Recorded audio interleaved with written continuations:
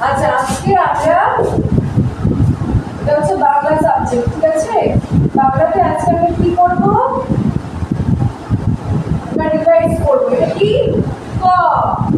তারপর গ।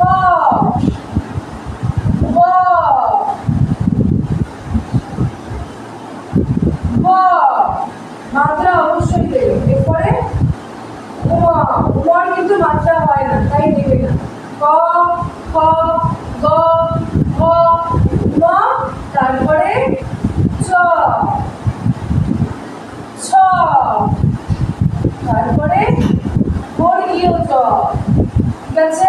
বাড়িতে ভালোভাবে এইভাবেই আমাদের লেখা প্র্যাকটিস করতে হবে আর পড়তে হবে অবশ্যই। কোনটা কি বর্ণ এগুলো হচ্ছে ব্যঞ্জন বর্ণ বাড়িতে ভালোভাবে পড়বে।